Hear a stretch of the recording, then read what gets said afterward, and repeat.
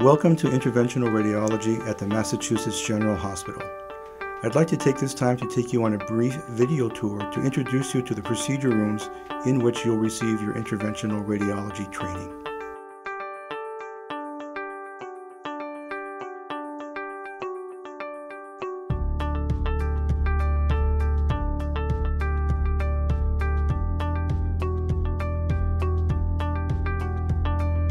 This is room one. In room one, we do a wide variety of interventional procedures, including follow-up catheter evaluations, ultrasound-guided procedures, central venous access work, and some arterial interventions.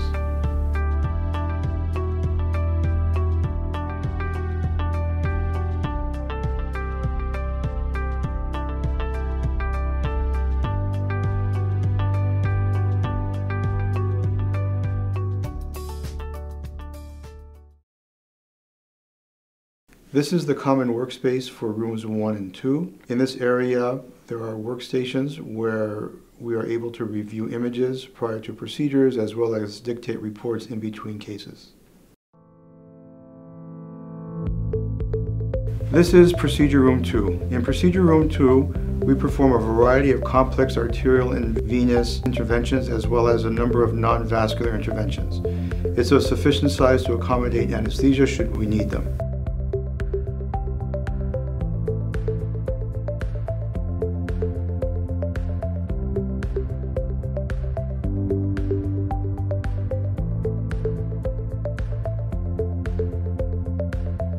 This is procedure room three. It's a general purpose intervention room where we perform a variety of arterial, venous interventions as well as non-vascular interventions, including ultrasound guided biopsies and drainages.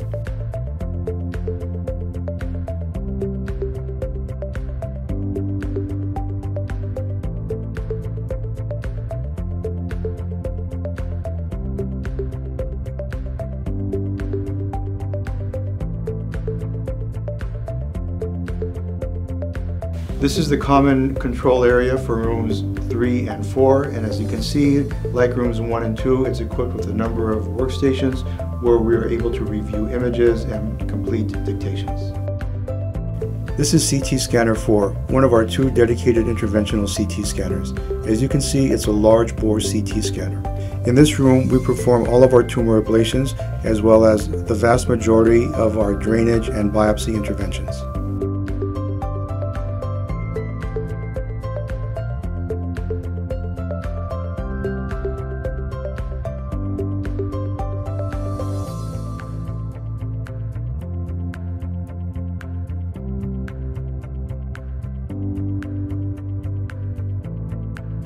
This is room 5. In room 5, we perform primarily venous access interventions related to nephrology, including placement of tunneled hemodialysis catheters, fistula, and graft revisions.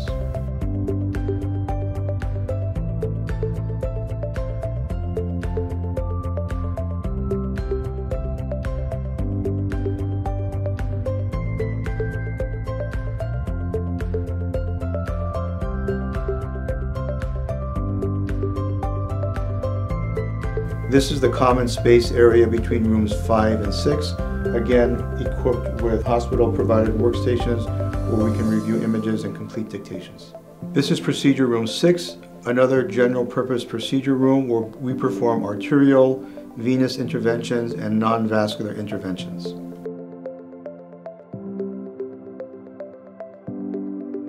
This is one of our two CT procedure rooms we use this primarily for abscess drainages as well as CT guided biopsies.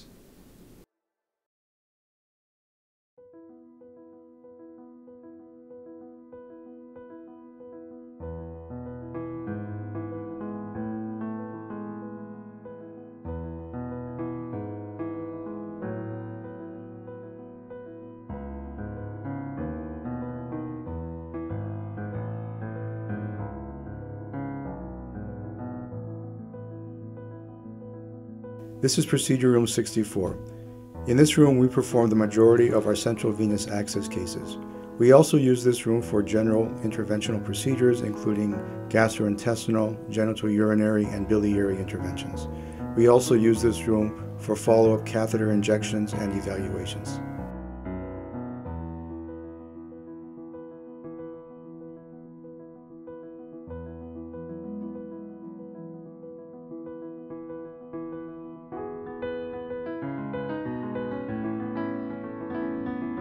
This is one of two ultrasound procedure rooms. We use this primarily for outpatient ultrasound guided biopsies, including thyroid biopsies, prostate biopsies, liver and renal biopsies.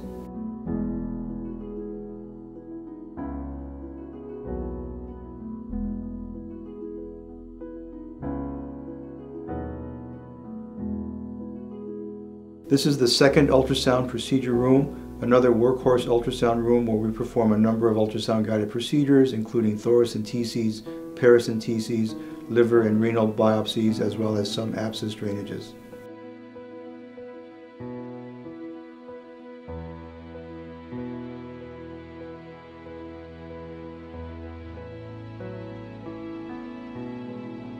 This is operating room 81. This is one of our two OR rooms that we use for emergency cases, whether during the day or during off hours. When not used for emergency cases, we also use this room for arterial and venous interventions, as well as non-vascular interventions that require the use of general anesthesia.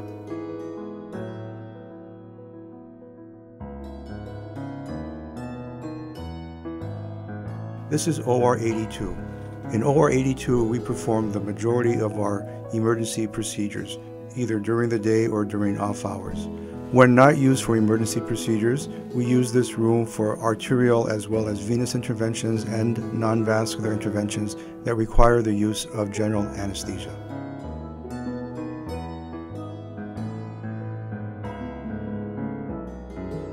This concludes our video tour of the department. I hope you found it helpful in giving you insight into what your training will be like at the Massachusetts General Hospital. Thank you, and I hope to see you soon.